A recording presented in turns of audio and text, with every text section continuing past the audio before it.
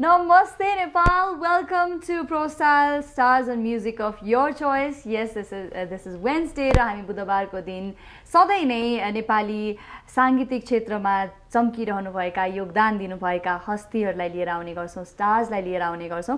त्यसैले नै Wednesday stars of music of your choice भनिन्छ। र आज पनि हामीसँग एक यस्ता हस्ती हुनुहुन्छ यस्ता स्टार हुनुहुन्छ जसले चाहिँ चौध वर्षको कलिलो उमेरमै नेपाली साङ्गीतिक क्षेत्रमा पाइला टेक्नु भएर आजको दिनसम्म आइपुग्दा उहाँ प्रत्येक नेपालीको मनमा हुनुहुन्छ। उहाँलाई इन्ट्रोडक्सनको जरुरी नै छैन। The one and only Ramkrishna Dhakal ji हुनुहुन्छ हामीसँग। उहाँलाई स्वागत गरौँ। नमस्कार। नमस्ते। वेलकम थ्याङ्क यू एकदमै बिजी हुनुहुन्थ्यो भनेर भन्दै हुनुहुन्थ्यो है बिहानदेखि। कस्तो छ यहाँको डेली लाइफस्टाइल चाहिँ कसरी चलिरहेको छ? डेली रुटिन कस्तो छ यहाँको अहिले? अहिले चाहिँ अलि रेकर्डिङहरूमा अलि बढी बिजी छु। रेकर्डिङ अनि अब आफ्नो डे टु डे लाइफको पर्सनल कामहरू अनि अलिकति सोहरू किनभने म बिचमा यो दुई वर्ष चाहिँ अलि बढी बाहिर रहेँ। युएसमा एउटा सिङ्गिङ रियालिटी सो थियो मेरो भोइस कप भन्ने। त्यसमा वान अफ द जजमा थिएँ। अनि त्यसको चाहिँ इनागुरेसन भयो त्यसपछि अब टप टेन भयो। अनि फिनाले र अब युएस गइसकेपछि ठुलो कन्ट्री अब धेरै स्टेट्सहरू छन्। अब गएपछि अब दुई चारवटा प्रोग्राम गरेर आउँ भन्ने नै हुन्छ। डेढ दुई महिना यतिकै बित्छ। आउने जाने यसपालि मेरो धेरै भयो। र यसपालि चाहिँ नि म पहिलोचोटि क्यानाडा गएँ। र युएस गएर करिब साढे दुई महिनामा म फर्केँ। धेरै उता हुँदा हुँदा मान्छेहरूले चाहिँ म उतै बस्छ भने उतै नै जाने हो। अब मलाई अहिले हिजो आज मान्छेले चाहिँ अब कति बस्नुहुन्छ यहाँ? बसाइ कति हो यहाँको? कहिले फर्किने हो? भन्छ त्यस्तो भइसक्यो बढी टुर गर्दा गर्दाखेरि। अनि त्यसैले गर्दाखेरि अब रेकर्डिङको कामहरू चाहिँ अलिक पेन्डिङ भइरहेको थियो। र मलाई धेरै कोहीले पाँच छ महिनादेखि कुरिरहनु भएको छ। त्यो प्रोजेक्टहरू सुरु गर्दै अब नयाँ प्रोजेक्टहरू एल्बमको काम पनि गरिरहेको थिएँ। त्यो एल्बमको काम पनि अब यो टुरले गर्दाखेरि एउटा गीत गरेँ यस्तै भइरहेको थियो। अब त्यसलाई पनि कन्टिन्यू गर्दैछु। र एक दुईवटा अरू ड्रिम प्रोजेक्टहरू छ। एउटा मुभीको प्रोजेक्ट पनि थालनी गरेको थिएँ। अब बिचमा त्यत्तिकै भएको छ। त्यसलाई पनि अब कन्टिन्यू गर्ने उसमा छु। र रिसेन्टली अब गीतहरू गाइरहेको छु। लास्ट विक चाहिँ हाम्रो स्व सम्राट नारायण गोपालज्यूको चाहिँ नि स्मृति दिवस थियो अठाइसौँ त्यसमा एउटा अर्को अब यो पक्कै पनि हामी धेरै उहाँको फ्यान छौँ। म पनि एउटा अब्बल दर्जामा आउने फ्यान हो। र उहाँको एउटा अन्तिम सङ्गीत चाहिँ एउटा गर्ने अर्को मौका जुर्यो हाम्रो त्यो गीत अन्तिम सङ्गीत भन्नाले यसको बारेमा अझै अझै बुझाइदिनुहोस् न। एउटा मेरो भूगोल त्यही नै हो जहाँ तिमी अटाउँछौ। भन्ने गीत चाहिँ नि मैले लास्ट विक रेकर्ड गरेँ। जुन चाहिँ नारायण गोपालज्यूले चाहिँ नि अब करिब भनौँ न पैँतिसदेखि चालिस सालको फेजमा चाहिँ उहाँले एउटा हार्मोनियममा ट्युन गर्नुभएको थियो। र त्यो ट्युन चाहिँ नि अब हाम्रो चक्रपथमा जुन चाहिँ नि अहिले छब्बिसौँ चक्रपथमा जुन चाहिँ नारायण गोपालको सम्झनामा जुन चाहिँ सो हुने गर्दथ्यो एकजना हाम्रो लामाजी हुनुहुन्छ त्यहाँको। उहाँले चाहिँ नि व्यक्तिगत रूपमा त्यो प्रोग्रामको थाल्ने गर्नुभएको थियो। र उहाँ उहाँसँग त्यो चाहिँ नि भनौँ न त्यो ट्युन चाहिँ नि आइपुगेछ। अनि त्यो मार्फत चाहिँ नि हाम्रो चाहिँ नि प्रदीप श्रेष्ठ भन्ने एकजना म्युजिक एरेन्जर हुनुहुन्छ। उहाँको थ्रुबाट अनि हाम्रो मैले चाहिँ त्यो एक डेढ वर्ष अगाडि मैले यस्तो गीत छ भन्ने मैले ऊ पाएँ अनि त्यो बेलामा चाहिँ एउटा रफ एरेन्ज गरेर एकजना भाइले त्यहाँ पर्फर्म गर्नुभएको रहेछ। अनि त्यसपछि त्यसलाई फेरि अलिकति रिफाइन गरेर यो गीत यो चाहिँ काहीँ रेकर्ड पनि भएको छैन र यो चाहिँ नारायण गोपालको अन्तिम उहाँले गर्नुभएको सङ्गीत अन्तिम हो and this is a huge thing होइन this is an amazing thing यो एउटा कस्तो भने अब हामी त्यसमा इन्भल्भ हुने मान्छेको लागि त एउटा एकदमै ठुलो कुरा हो। र त्यसपछि अब नेपाली सङ्गीतको क्षेत्रमा यो गीत एउटा आउनु आफैमा एउटा राम्रो त्यो पनि यतिका वर्षपछि अनि एउटा श्रोता दर्शकको लागि पनि एउटा राम्रो उपहार हो। हो त्यसको लागि हामीले थ्याङ्क यू भन्नै पर्छ यहाँलाई। र नारायण गोपालकै गीत चाहिँ कभर गर्दै हुन्छ नि उहाँकै गीत गाउँदै उहाँलाई नै आइडलाइज गर्दै चाहिँ यहाँ चाहिँ नेपाली साङ्गीतिक क्षेत्रमा जानुभयो होइन आउनुभयो। यहाँले आइडलाइज गर्ने पर्सन नारायण गोपाल नै हुनुहुन्थ्यो या अरू अरूको गीतहरू पनि यहाँले उत्तिकै सुन्नुहुन्थ्यो किनभने मिडियामा आउँदाखेरि चाहिँ नारायण गोपालको गीतहरू धेरै कभर गर्नुहुन्थ्यो दुरुस्तै कभर गर्नुहुन्थ्यो भनेर आउँथ्यो। अरू को कसलाई आइडलाइज गर्नुहुन्थ्यो को कसको सङ्गीत चाहिँ धेरै सुन्नुहुन्थ्यो मैले म तपाईँ त चौध वर्षको हुनुहुन्थ्यो होइन? अझै म त बाह्र वर्षको थिएँ। अझै मैले त दस वर्षमा पहिलोचोटि मैले स्टेज पर्फर्मेन्स गरेँ हो र बाह्र वर्षमा एघार बाह्र वर्षमा यहाँको कलेजहरू प्राय सबै काठमाडौँको कलेजहरूमा गरेँ। तेह्र वर्षमा मैले बाह्र तेह्रको फेजमा ढकाल सुमधुर साँझ जुन एउटा अत्यन्तै सफल कार्यक्रम थियो। एकल उसमा मैले बाइसवटा गीत गाएको थिएँ लाइभ त्यो कसरी कसरी अप्रोच गर्नुभयो त्यो? अर्गनाइजेसँग कसरी भेट भयो? यहाँले गाउनुहुन्छ भनेर त्यहाँ कसरी कुरा भयो त्यो? मैले अब कस्तो नि पहिला चाहिँ काठमाडौँको उहरूमा एउटा ठाउँमा मैले ल क्याम्पसबाट मैले सुरु गर्दाखेरि गरेपछि अब त्यो बेलामा मिडियाहरू धेरै थिएन। त्यसले नै काफी हुन्थ्यो। त्यहाँ एकदमै त्यो अब यति राम्रो भयो कि अ, त्यो नै काफी भयो। त्यसपछि मलाई भनौँ न यो फे यो फिल्डमा आउँदाखेरि मलाई मलाई प्रेरणा दिने गोपाल कर्मचारी दाई अ, ले चाहिँ नि त्यो पहिलो मेरो सो ढकाल समुद्र साँझ उहाँले अर्गनाइज गर्नुभएको थियो। र त्यो सो चाहिँ नि एकदमै हिट भयो। अब त्यसको एल्बम निस्क्यो त्यो बेलामा यति त्यो एल्बम चल्यो होइन त्यसमा हिन्दी म अब जस्तो नारायण गोपालज्यू चाहिँ नि मेरो भनौँ न पछि लाइक पचपन्न पैँतालिस छयालिस सालपछि चाहिँ मैले उहाँलाई चालिस पैँतालिस पछि बढी सुन्न थालेँ। अब त्योभन्दा अगाडि म हिन्दी गीतहरू पनि गाउँथेँ। किनभने त्यो बेलामा हिन्दी गीत नै धेरै सुन्न पाइन्थ्यो। र त्यसपछि अब भक्तराज आचार्यज्यू दिप श्रेष्ठ प्रकाश श्रेष्ठ अरुण थापा होइन अरुणा लामा भनौँ न धेरै अब त्यो त्यो बेलामा हामीले सुन्ने गीतहरू दिपक खरेल उहाँका सबै गीतहरू गाइन्थ्यो भनौँ न गुलाम अलीको गीतहरू होइन। अनि पछि गएर चाहिँ नारायण गोपाललाई अलिक बढी फलो गर्न थालेँ मैले र उहाँलाई बढी सुन्न थालेँ। र त्यसपछि अनि उहाँको सडचालिस सालमा उहाँको निधन भएपछि त्यसपछि चाहिँ अब एउटा म सानैदेखि मेरो नाम जोडिँदै आएको थियो उहाँसँग। र त्यसपछि अब उहाँलाई गाउनलाई तयार भएका गीतहरू पनि मैले गाउने मौका पाएँ। र एकदमै त्यो उहाँको एउटा छविले गर्दाखेरि मका गीत आउँदाखेरि नै एकदम राम्रो राम्रो गीतहरू आइपुग्ने मौका। अनि त्यो अलि राम्रो राम्रो गीतहरू मैले गाउने मौका पाएँ र अब म त त्यस्तो उ त थिइनँ सानै नै थिएँ तर एउटा ममा पनि एउटा ब्लेस्ड भनौँ। मैले सानैदेखि अलि राम्रो राम्रो गीतहरू मैले छान्न सकेँ। अथवा गाउन पाएँ। ठ्याक्कै त्यहाँ आउँदै थिएँ होइन किनभने अहिले अब हामी हुन त कम्पेयर कम्पेरिजनको कुरा भन्दा पनि तर भन्नै पर्ने हुन्छ अहिले हामी यति ठुलो भइसक्दा पनि हाम्रो म्युजिक चोइस चाहिँ डिफ्रेन्ट डिफ्रेन्ट छ होइन। तर यहाँ चाहिँ त्यति सानो उमेरमा चाहिँ यस्तो यस्तो गीत सुन्नुपर्छ यस्तो यस्तो कलाकार फलो गर्नुपर्छ यो यो गीत राम्रो हो यो यो गीत गाउनुपर्छ भनेर त्यो अन्डरस्ट्यान्डिङ चाहिँ यहाँलाई कसरी आयो?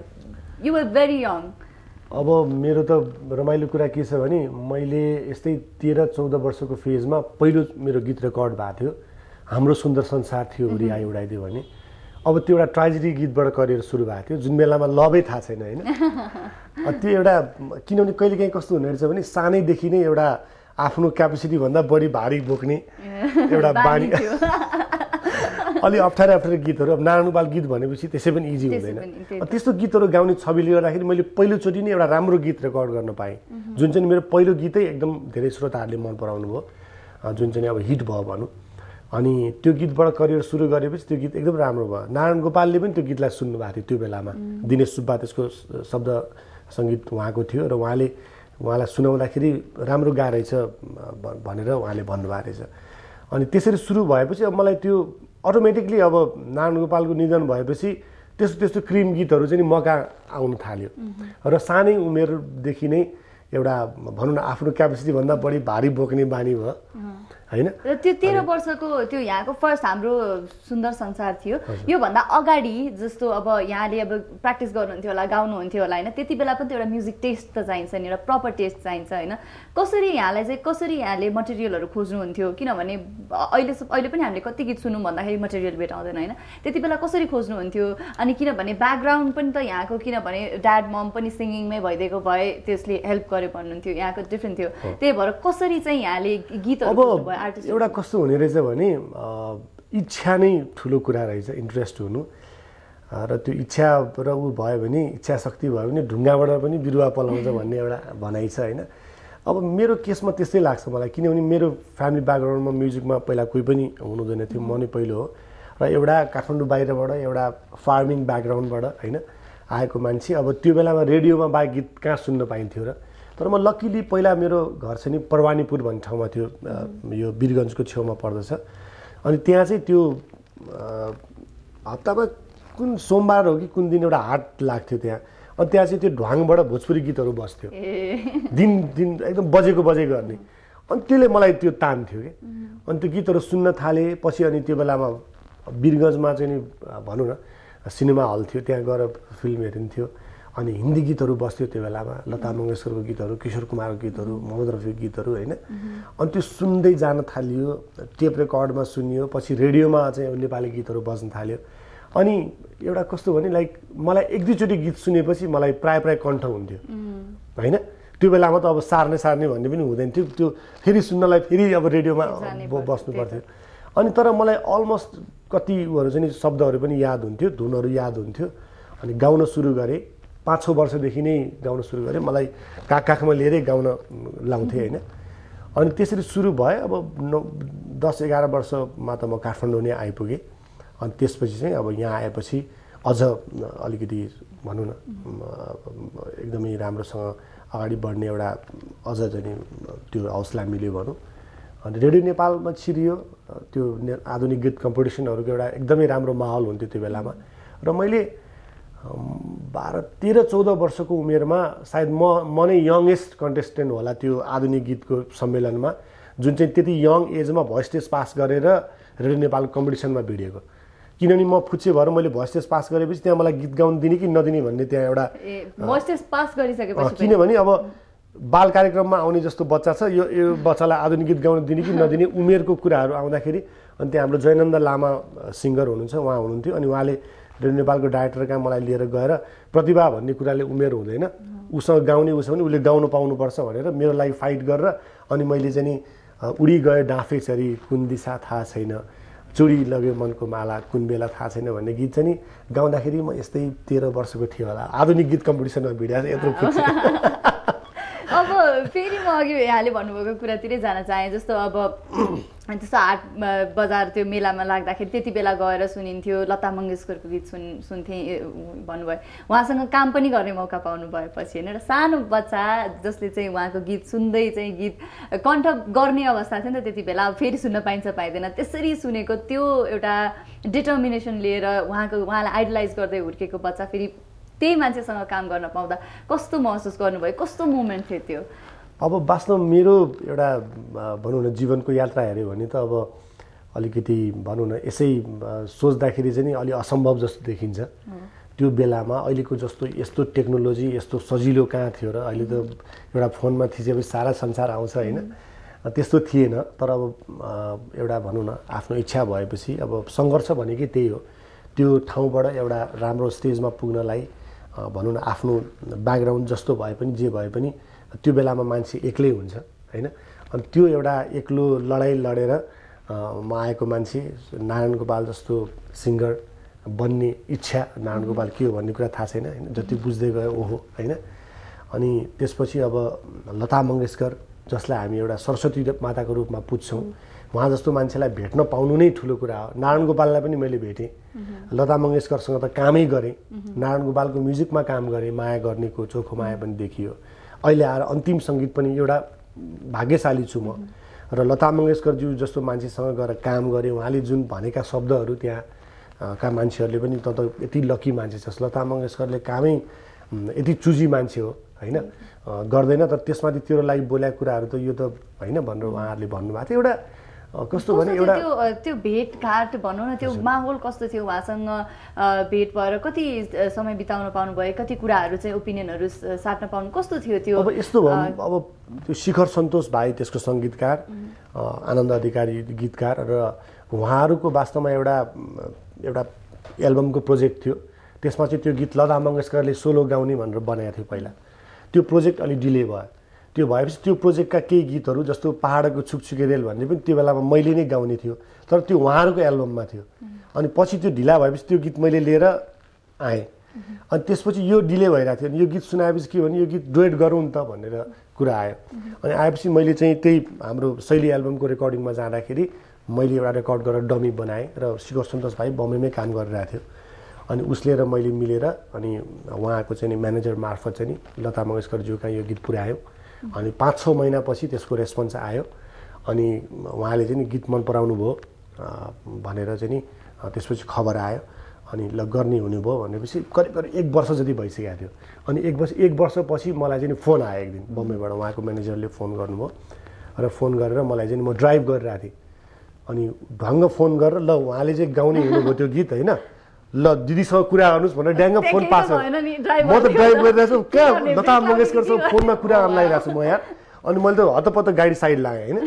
लगाएपछि मैले कुन भाषामा बोल्ने हो त्यो? कन्फ्युज भएँ कि म होइन? मोस्टली उहाँले हिन्दीमै बोलेको मलाई मैले देखिरहेको थिएँ। अनि त्यसपछि मैले अनि ठ्याक्क साइड लगाएँ अनि उहाँले चाहिँ हेलो रामकृष्णजी होइन? वो हिन्दीमा भन्नुभएको थियो। तपाईँले जुन गीत गाएर मलाई पठाउनु भएको थियो त्यो चाहिँ राम्रो छ धेरै। अनि अ, म चाहिँ त्यो गीत गाउँदैछु। मैले तपाईँ जति चाहिँ गाउन सक्दिनँ होला Oh. तर म चाहिँ नि गाउने म सकेसम्म उ गर्छु भन्नु। उहाँले त्यस्तो भन्नु अनि मैले हजुरले के भन्नुभयो? म त यहाँसँग काम गर्न पाउनु मेरो लागि एउटा भनौँ न यो चाहिँ नि मेरो जीवनै सार्थक हो होइन? अनि अ, भनेर मैले उहाँलाई थ्याङ्क यू भने अनि त्यसपछि अनि हामी केही महिनापछि हामी बम्बई गयौँ शिखर सन्तोष भाइ म गएर अनि रेकर्ड गऱ्यौँ। अनि फेरि त्यो कस्तो भयो भने टेक्निकल्ली हामीले चाहिँ लता मङ्गेशकरजीको पहिलाको छवि सोचेर अलि हाईमा बनाएको थियौँ त्यो गीत। अनि हाईमा उहाँलाई किन उहाँ एट्टी फोर इयर्स हुँदाखेरि रेकर्ड गरेको थियो.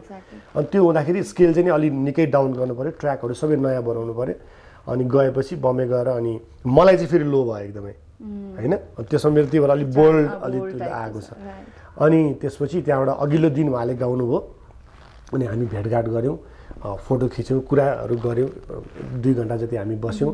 र त्यसपछि अनि मैले उहाँले गाएपछि अनि मैले पनि गाएँ। तर त्यो दिन मलाई त्यति मुड बनेन। अनि फेरि किन लोमा थियो एकदमै। अनि भोलिपल्ट बिहान फेरि अनि एघार बजी चाहिँ नि मैले रेकर्ड गरेँ। उहाँलाई भेट्न जाने दिन अगाडि चाहिँ अब मलाई कस्तो अब हुन्छ हुन्छ नि क्युरियोसिटी के लुगा लाएर जाने के भन्ने अनि त्यस्तो भएर रातभरि अलमोस्ट निन्द्रा पनि लागेन। होइन अनि भोलिपल्ट भेटघाट भयो। जे होस् एउटा डाउन टु अर्थ त्यस्तो ठुलो मान्छे मैले एउटा पशुपतिको त्यो उ लिएर गएको थिएँ होइन। अनि त्यो दिने बित्तिकै ओहो पशुपतिनाथ भन्नुभयो। अनि त्यसपछि चाहिँ नि अनि उहाँ आउनु त पाउनु भएको थिएन। अनि पशुपति उता त एकदम यो रुद्राक्षी चाहिँ एकदम त्यहाँ पाइन्छ भन्ने सुनेको थिएँ भनौँ। अनि मैले हुन्छ म ल्याइदिन्छु भनेर त भनेँ मैले। त रुद्राक्षी भने त यहाँ धेरै एक्सपेन्सिभ धेरै चाहिँ त्यो रियरली पाउँदो रहेछ होइन. मलाई थाहा थिएन। अनि पछि त बोलेर आइहालेँ। अनि त्यसपछि चाहिँ पछि चाहिँ नि मैले हाम्रो सिन्धु राणा जो गीतकार हुनुहुन्छ अनि त्यो उहाँले इन्टरभ्यू हेर्नु भएको थियो। तपाईँ जस्तो मान्छेले बोलेर आएको कुरा पुरा गरिदिनु भयो उहाँले पनि अलिक हेल्प गर्नुभयो। अनि त्यो चाहिँ नि हामीले उहाँलाई जस पठाइदियौँ। भनौँ न त्यो एउटा।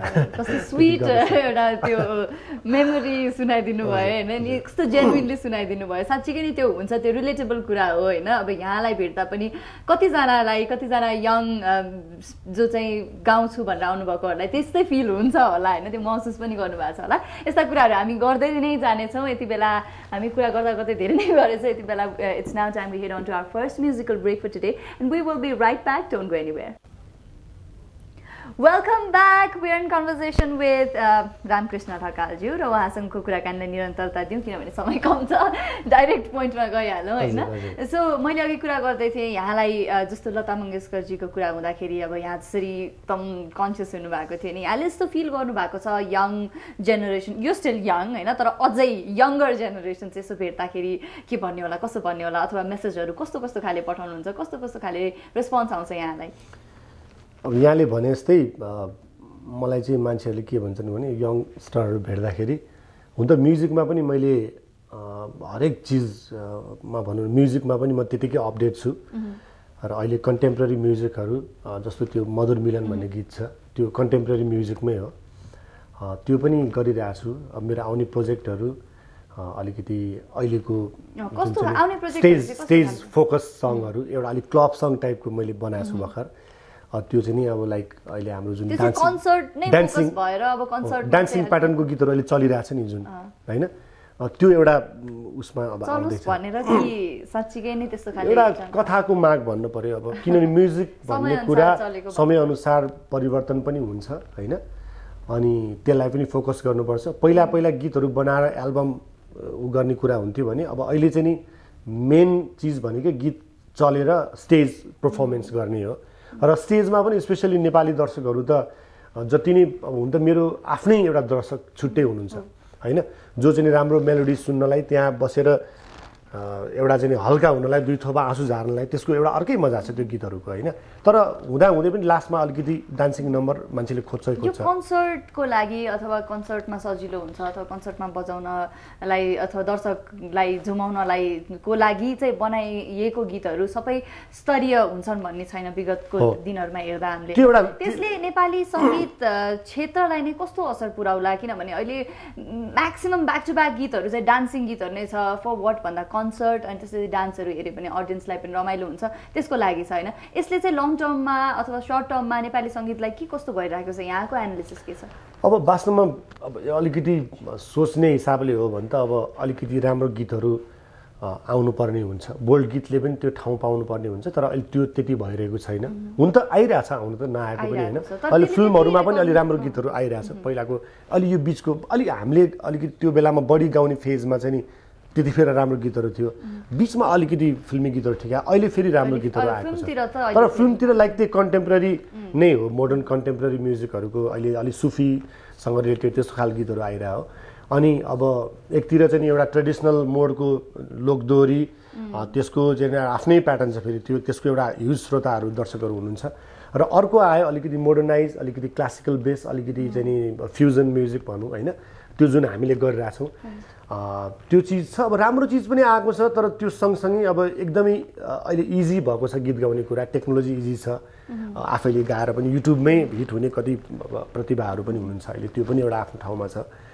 तर अब त्यो फेजमा राम्रो गीतहरू पनि आउनुपर्छ। किनभने एउटा भोलि लाइक एउटा म्युजिकको चाहिँ नि कालखण्ड हेर्दाखेरि होइन? त्यो फेजहरू हेर्दाखेरि यो फेजमा चाहिँ यो गीतहरू चाहिँ एकदमै यस्तो यस्तो खालको गीत रहेछ भन्ने पनि हुन सक्दछ अहिले त अब एकदमै हाउडे हाउडे गीत पनि आइरहेछ। तर त्यो एरा नै त्यस्तै खाले एरा होला भने किनभने एक टाइममा हामीले फर्केर दा यहाँहरूले जसरी स्टार्ट गर्नुभयो त्यो एउटा एकदम आधुनिक अथवा त्यो एउटा कालजयी सङ्गीतको थियो। तर अहिले त्यो कालजयी सङ्गीतको माहौल बनिराखेको छैन जस्तो हामीलाई चाहिँ लाग्छ यसरी। कम कम छ अलिकति धेरै कम छ। अब कस्तो हुन्छ भने एउटा अब भनौँ न बगिरहेको खोलालाई चाहिँ अब फर्काउन त एकजना मान्छेको प्रयासले हुँदैन होइन? त्यसलाई अब धेरै ठुलो ऊ लाग्छ। त्यसले गर्दाखेरि अब जतातिर बग्छ ऊ होइन? त्यहाँ बग्ने होइन? त्यो त्यसले गर्दाखेरि अब हामी पनि त्योसँग अब मैले कस्तो भने एकदमै म कमर्सियलमा जाने भनेर मलाई सुहाउँदै नसुहाउने किनभने मेरो एउटा आफ्नो भनौँ न फिक्स मेरो श्रोताहरू पनि त छ नि। उहाँहरूलाई पनि मैले राम्रोको आउने बित्तिकै डडाङ र डुडुङ आयो भने पनि त्यो त फेरि अलिकति त्यो न्याय हुँदैन। त्यसलाई त्यो चिजलाई पनि मैले ध्यान दिएको छु। कमर्सियल भनेर मलाई एकदम सुहाउँदै नसुहाउने त्यस्तो उहरू गरेको छैन। तर त्यसलाई ध्यानमा राखेर जस्तो एउटा सिङ्गर भनेको कस्तो चिज हो भने एउटा ऊ कस्तो रूपले प्रयोग हुनसक्छ उसलाई के के कुरा सुहाउँछ। एउटा मान्छेलाई लुगा लगाइदिए जस्तै हो। उसलाई एउटा सुट लाउँदा पनि कस्तो देख्छ? अथवा उसलाई मोडर्न ड्रेसमा कस्तो देख्छ? अब त्यो मलाई कस्तो देख्छ? मेरो भोइसमा नजिक आउनुमा भन्ने गीत सुहायो कि सुहाएन मेरो गीतमा मेरो उसमा चाहिँ अब फोक प्याटर्नको गीतहरू छिटको गुनी भन्ने गीत सुहायो कि सुहाएन त्यो चिज हुन्छ। त्यसले गर्दाखेरि अब श्रोताहरूको एउटा प्रतिक्रिया अनुसार चाहिँ मलाई सुहाएको महसुस गरेको छु। र त्यो अनुरूप चाहिँ एउटा अहिले मैले अलिकति क्लब टाइपको गीत पनि एउटा बनाएको छु। र त्यसपछि अर्को एउटा फेरि डुएट सङ छ मेलिना राईसँग मैले गाएको। त्यो चाहिँ अहिले जुन चाहिँ एउटा फिल्ममा लोक प्याटर्न चलिरहेछ त्यो खालको अलिक फरक छ भनौँ। त्यो गीत सायद अब इन्डिभिजुअल्ली पनि आउन सक्छ कुनै मुभीमा पनि आउन सक्छ। त्यो दुईवटा प्रोजेक्ट त्यो गीतहरू आउँदैछ। भर्खर दुईवटा स्वदेश गान राम्रो उसको चाहिँ भिडियो गरेको चाहिँ त्यो आउँदैछ। र अघि चाहिँ एउटा यङ्स्टरहरूको कुरा आयो। अब त्यो आउँदाखेरि चाहिँ अब भनौँ न भिडियोहरू पनि गरिरहेको छु मैले र एउटा धेरै बाट भनौँ न यङ्स्टरहरूबाट श्रोता दर्शकबाट चाहिँ नि एउटा रामकृष्ण ढकाल चाहिँ नि झन् जति दिन बित्दै गयो झन् झन् अनि यङ हुँदै जाने देखिँदै जाने भन्ने एउटा भनौँ न त्यो उताबाटै आएको कुरा हो हो। दर्शक श्रोताबाट। अनि त्यसले गर्दाखेरि पनि एउटा अहिलेको फेजमा काम गर्न अलिकति सजिलो किनभने अहिले चाहिँ नि अब पहिला पहिला जस्तो रेडियोमा मात्रै गीत सुन्ने कुरा छैन। भिडियो राम्रो हुँदाखेरि राम्रो एउटा पर्फर्मर राम्रो देखिनु राम्रो ऊ चाहिँ अपडेट हुनु त्यो पनि एउटा प्लस पोइन्ट भइसक्यो अहिले। होइन किनभने अब सामाजिक सञ्जालको कुरा छ? फेसबुक छ blessed, होइन तर तर पनि मेन्टेनेन्स त चाहिन्छ नि त। कसरी मेन्टेन गर्नुहुन्छ आफ्नो स्किनदेखि लिएर अब फेसनको कुराहरूदेखि लिएर? कसलाई माग्नुहुन्छ एडभाइस मलाई यो लाउँदा सुहायो यो लाउँदा सुहायो भनेर आफै त्यो डिसिजनहरू लिनुहुन्छ। कस्तो छ यहाँको? यस्तो छ अब हिजो आज त उसमा पनि धेरै कुरा हेर्न पाइन्छ। घुमिन्छ अब अहिले त भनौँ न अब अमेरिका नै अब मेरो लागि त पानी पदर जस्तै भइसकेको छ अब। अमेरिकनहरूभन्दा बढी घुमिसक्यो अमेरिकामा अलमोस्ट अब फिफ्टी फाइभ स्टेट्सहरूमा म चाहिँ नि फोर्टी अब फोर्टी फाइभ स्टेट्स घुमिसकेको छु होइन। त्यसले गर्दाखेरि अब त्यहीँको मान्छेहरू घुमिरहेको हुँदैन। अनि त्यो हेर्न पाइन्छ किनभने त्यहाँ त एउटा लेटेस्ट फेसनका कुराहरू अब हिजो हिजो आज मिडियामा हेर्न पाइन्छ। अब आफ्नो लाइफ पार्टनरले पनि त्यसमा मेरो उसले पनि उसले पनि चाहिँ नि भनौँ न एडभाइस दिन्छ। अनि त्यसपछि त्यो कुराहरू हेर्न पाइन्छ। आफूले पनि अलिकति त्यसमा इन्ट्रेस्ट राख्छु र हेल्थका कुराहरूमा अलिकति खानपिनका कुराहरूमा र त्यसपछि चाहिँ नि अब अलिकति फिजिकल फिटनेसका कुराहरूमा अब यसरी अलिकति कन्सियस हुन्छु। र मेरो आफ्नो एपिटाइट पनि धेरै छैन। अब एउटा अनि त्यसपछि मेटापोलिजम राम्रो छ भन्नु पऱ्यो अब धेरै मोटाइएको छैन। त्यसले गर्दाखेरि अलिकति फिट अनि एकदम फेसनेबल अनि ह्यान्डसम त्यसमाथि ट्यालेन्टेड एउटा त्यसपछि- योभन्दा धेरै गुण के चाहिन्छ र? हुन पाइएको छ भनौँ अनि एउटा भगवान्को कृपाले। ओके। अनि त्यसपछि अनि त्यही हो। ओके। अलराइट सो हामीले चाहिँ एकदम धेरै कुरा गरिसकेका छौँ। गीततिर पनि जाने बेला भइसकेको छ। सो यहाँकै गीतहरू बच्छ आज र यहाँकै गीतहरू मध्येको एउटा एकदमै मिठो गीत। अब यहाँहरूको लागि देगो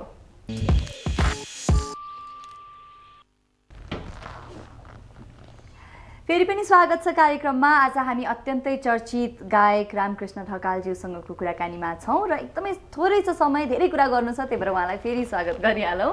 र अब चाहिँ मैले जुन अब आउन लागेको गीत हाम्रो स्वर सम्राट नारायण गोपालज्यूको सङ्गीतमा रहेको गीत यसको बारेमा कुरा गरौँ। कस्तो खाले गीत हो? के विषयमा छ यो गीत? कस्तो खाले गीत छ?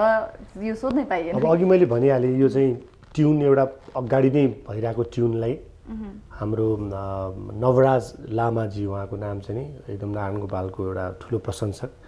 जसले चक्रपथमा चाहिँ नि छब्बिसौँ स्मृति दिवससम्म उहाँले चाहिँ नि त्यहाँ आफ्नो पर्सनल उसबाट चाहिँ उहाँले त्यहाँ कन्सर्ट गर्नुहुन्थ्यो।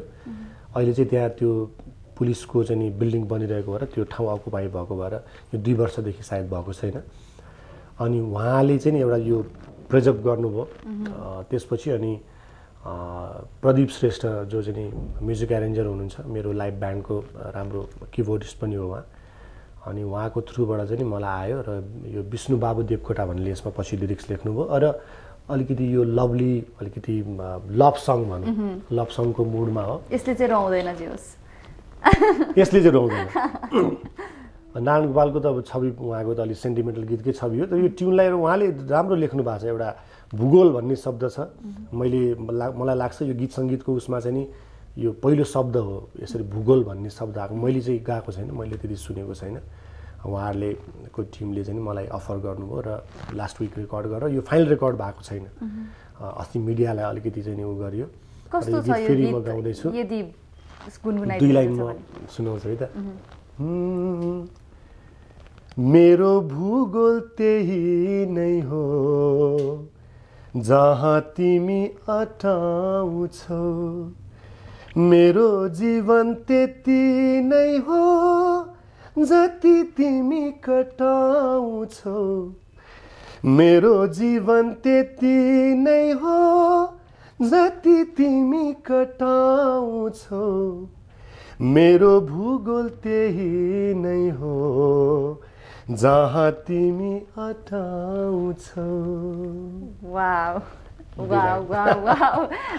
एकदमै? लिरिक्स त्यतिकै राम्रो। सङ्गीत भन्नै परेन। त्यसमाथि स्वर यहाँको भइसकेपछि डेफिनेटली एकदमै राम्रो हुन्छ यो गीत चाहिँ। एकदम एक्साइटेड नै छु म होइन? एकदम। छिटो छिटो काम होस्। र अन्त्यमा जाँदा जाँदै अब धेरै टाइम समय हामीसँग छैन। यहाँले आफ्नो दर्शकलाई आफ्नो बिलभेड अडियन्स जसले चाहिँ आजसम्म साथ दिनुभयो उहाँलाई केही भन्न चाहनुहुन्छ? अब अलवेज उहाँहरूको अ, माया उहाँहरूको एउटा सल्लाह सुझाव अ, ले नै म अगाडि बढेको हुँ र हामीले गीत गाउने हाम्रो श्रोता दर्शककै लागि हो। र मैले अब अहिलेको माहौल अनुसार मुड अनुसार हाम्रो पुरानो मेरो गीत सुन्ने प्याटर्नका श्रोताहरूलाई पनि त्यो खालको गीत चाहिँ दिइरहेको छु। कहिलेकाहीँ कस्तो हुन्छ भने हामी चेन्जको लागि रेडी भएर पनि हुँदैन। त्यो श्रोता पनि हाम्रो लागि चेन्जको लागि रेडी भइदिनुपर्छ। र यहाँहरूले पनि त्यो कुरा बुझिदिनु होला कि अब समयअनुसार अलिकति परिवर्तन पनि चाहिन्छ। सधैँ एउटै चिज भयो भने पनि मोनोटोनस हुन्छ। त्यसले गर्दाखेरि यो म्युजिकको उसमा लामो समय हेर्दाखेरि कहिलेकाहीँ होला अलिकति फरक खालको गीतहरू गाएर फर फरक कम्पोजर फरक लिरिसिस्टको गीतहरूले पनि त्यो एउटा दिन्छ। अनि अब मैले अब आउने गीतहरू चाहिँ अलिकति अलिक स्टेज फोकस सङहरू त्योहरू गरिरहेको छु। र त्यो सँगसँगै आफ्नो एउटा धारलाई पनि मैले जुन मेरो आफ्नो एउटा व्यक्तिगत अथवा मेरो पर्सनल छवि जुन छ यहाँहरूले मन पराएको त्यो चिजलाई पनि त्यत्तिकै अगाडि बढाइरहेको छु। र अब गर्दैछु एउटा चाँडै मेरो नयाँ एल्बम आउँदैछ। एउटा मुभीको प्रोजेक्टमा पनि छु एकदमै ड्रिम प्रोजेक्ट हो त्यसलाई राम्रोसँग उ गर्ने तयारीमा छु। केही पर्सनल इन्डिभिजुअल ट्र्याक आउँदैछन्। यहाँहरूलाई ल्याउँदैछु। र नयाँ वर्षमा एउटा यो भनौँ न जनवरी फर्स्ट उसमा चाहिँ नि फर्स्ट विकसम्ममा अथवा फर्स्टमै एउटा नयाँ अर्को गीत आउँदैछ मेरो। के अरे पूर्णिमाको जुनसँग के दाजु तिमीलाई पूर्ण रूप हेर्न मैना खुर्नु पर्छ शिशिरको घामसँग के दाजु तिमीलाई? छिटो उदाएर ढिलो उदाएर छिटै ढल्ने गर्छ। यो खालको गीत छ हरि लम्सालको शब्द अनि हरि हरि सिलवालजीको चाहिँ शब्दमा नितिन चन्दले भिडियो गर्नुभएको छ। राम्रो एकदमै लभली भिडियो बनेको छ। हाम्रो सीमा जी चाहिँ यसको मोडल हुनुहुन्छ। अनि आउँदैछ। म आफैले मेल उसको भिडियोमा गरेको छु। नयाँ वर्षको उपहारसहित त्यो पनि आउँदैछ। यस्तै यस्तै छ नयाँ कामहरू। हाम्रो श्रोताहरूले यसलाई चाहिँ सदैव यहाँहरूले सल्लाह सुझाव दिएर अगाडि बढाउनु होला। हामी यहाँहरूकै लागि काम गर्छौँ। ओके विथ द्याट अब हामीले बिदा माग्ने बेला भइसकेको छ। थ्याङ्क यू सो मच यस्तो व्यस्तताको बावजुद पनि आइदिनु भयो सोमा सोको गरिमा बढाइदिनु भयो। थ्याङ्क यू सो मच शिवानीलाई थ्याङ्क यू र इमेज च्यानललाई अलवेज म्युजिकको लागि पहिलो म्युजिक च्यानल हो। धेरै म्युजिक भिडियोहरू पहिला बनायो इमेज च्यानलबाट दैव तेरो मायाको खेलाली आलोकजीले बनाउनु भएको त्यो सम्झिन्छु म होइन? अनि त्यतिखेरदेखि म्युजिकमा अलवेज इमेज च्यानलले एउटा जुन चाहिँ योगदान दिएको छ त्यो एकदमै प्रशंसनीय छ। थ्याङ्क यू भेरी मच भन्दै अब हामीले बिदा माग्ने बेला भइसकेको छ हाम्रो दर्शकलाई अब बाई भन्नुपर्छ। नमस्ते।